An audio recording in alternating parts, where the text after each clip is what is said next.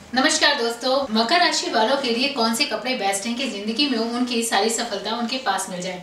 मकर राशि वालों के लिए कॉटन के कपड़े बहुत ज़्यादा बेस्ट रहेंगे। यदि वह इस वर्ष कॉटन के कपड़े का इस्तेमाल करते हैं तो वह अपनी ज़िंदगी में सारी चीज़ों को उपलब्ध करा सकते हैं। अपनी चीज़ों में जो भी चीज़ें उनकी आधी अधूरी रह गई हैं, या फिर जो चीज़ें वह पूरी करना चाहते हैं, लेकिन किसी वजह से नहीं पूरी हो पाई हैं तो वह इस साल वह पूरी हो जाएँगी। लेकिन वह कॉटन के कपड़ों का ज़्यादा इस्तेमाल करें।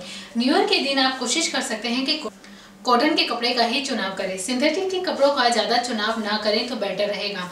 वैसे मकर राशि वाले ज़्यादा अपनी चॉइस में चीज़ों को अलग अलग नहीं रखते हैं। मकर राशि वालों का जो भी मिलता है वही पहन लेते हैं। या फिर पेरेंट्स के ऊपर है, जो पेरेंट्स ला कर दे दे, वह उन्हें ज़्यादा पसंद आता है। या फिर अपनी दूसरों की चॉइस ही उन्हें ज़्यादा पसंद आती है। अपनी चॉइस उन्हें ज़्यादा अच्छी नहीं लगती है, जिसकी वजह से उनके पास चुनाव में बहुत कम चीज़ें होती हैं।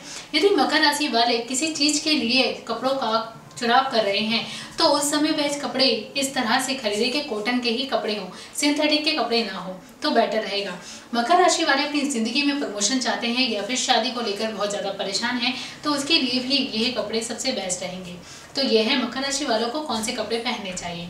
मेरी इस वीडियो को लाइक शेयर एंड सब्सक्राइब करना ना भूलें।